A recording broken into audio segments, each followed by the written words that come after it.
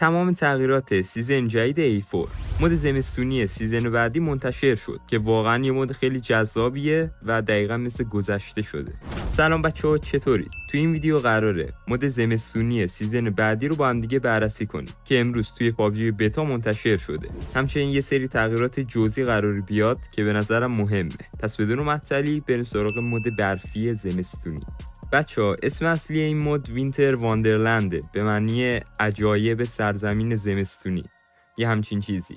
و اگه پابجی بتا رو در حال حاضر داشته باشید می‌تونید که این مد رو داخل پابجی بتا امتحان کنید. یعنی در حال حاضر توی پابجی بتا در دسترسه. می‌تونید که برید و بازی کنید. خب این مد زمستونی دقیقا بالای کوه توی منطقه استالبر قرار که اضافه بشه و نرسیده بهش برفا رو می‌بینیم و اینم از مد. خب بریم ببینیم که به چه شکله. توی استالبر خبری از آب نبود ولی خب توی این مد آب داره اگه ناکنید. و اینم از نمای داخل. خب از خونه که میشه فهمید انگاری خونه های مپ ویکندیه.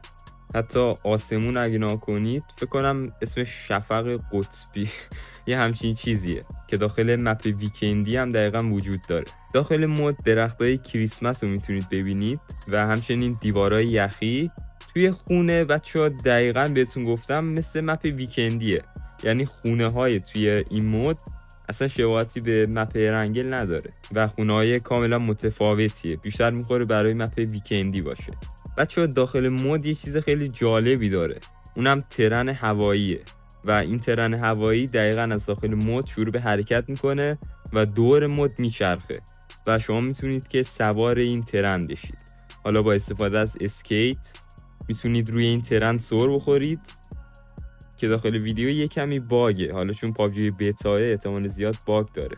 ولی توی پابجی موبایل قرار نیست که همچین باگایی ببینید. ترن هواییش خوبه ولی خب توی همچین منطقه به این شلوغی کی می‌خواد بره اون بالا؟ یعنی کی خواه و کاربردش هم دقیقا همینه دیگه. سور می‌خوری آها می‌تونید برید بالای خونه. حالا به این نکتهش توجه نکرده بودم.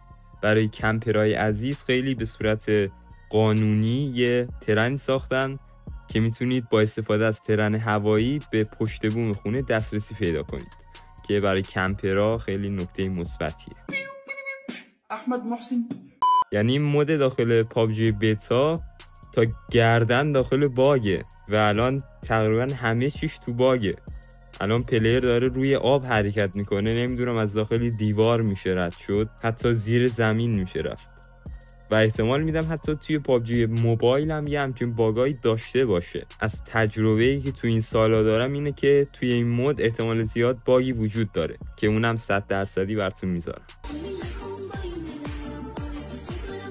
این mode جدا از منطقه ویژه‌ای که داره یه سری مناطق کوچیک هم داره که نمونش توی گاتکا و بالای منطقه روژوک می‌تونید که پیدا کنید. یه همچین محوطه ایه که مربوط به mode میشه. نکته جالبش اینه که بچه ها موشک توی این mode ه. احساس می‌کنم که PUBG beta به خاطر همین bug خورده. و اسکیت هم داره که در حال حاضر bug ی حرکت نمی‌کنه. و در کل اینم بود از جزئیات مد برفی که با هم دیگه دیدیم. این نسخه بتاش بود و توی پابجی موبایل خیلی بهتر خواهد بود و حتما نظرتون رو توی قسمت کامنت رو بنویسید.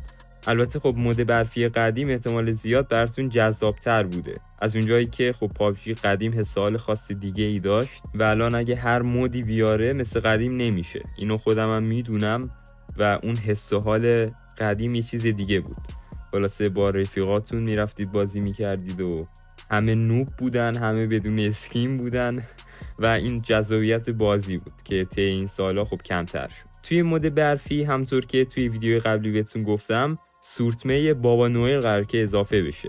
این سورتمه وسیله نقلیه آپدیت جدیده. با استفاده از این سورتمه بابا نوئل و گاری که پشت سرش دارید می‌تونید که بر فراز آسمان شروع به پرواز کنید. اینم بود از تمام تغییرات mode برفی و حالا بریم سراغ تغییرات جزئی. اول از همه بهتون بگم که season بعدی X-Suit جدید داره. و X-Suit جدیده دقیقا به این شکله. این عکسیه که فاش شده از X-Suit جدید و حتما نظرتون رو راجع به این X-Suit تو قسمت کامنت بنویسید. طرفدارای انیمه همین الان تو قسمت کامنت اسم کاراکتر رو بگید یه تغییر خیلی جالبی که قرار بیاد مربوط میشه به بخش سازنده. بچه ها توی بخش سازنده از این بعد می‌تونید که mode قایم باشک رو طراحی کنید. قایم موشک می‌گفتیم ما یه زمان ولی خب بهتون بگم که با ویژگی که پابجی در اختیار سازنده ها می‌ذاره امکان ساخت مد قایم با شک وجود داره و 100 درصد که مد خیلی جذابی خواهد شد. سیستم بازیش هم به این صورته. دو گروه تقسیم میشه یه گروه باید قایم میشه یه گروه هم باید پیدا کنه. حالا گروهی که می‌خواد پیدا کنه کاراکتر داخل بازیه. کاراکتر عادی داخل بازی. و گروهی که قرار قایم بشه توی یه محوطه شکل یه اشیا رو به خودش می‌گیره. مثال شما دراپ میشید تبدیل میشید به نیمکت و همینطوری دیگه باید قایم بشید. مثلا تبدیل به توالت هم می‌تونید بشید.